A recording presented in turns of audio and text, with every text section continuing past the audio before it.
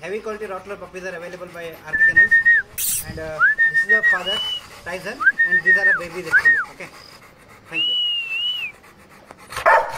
Here. Then I need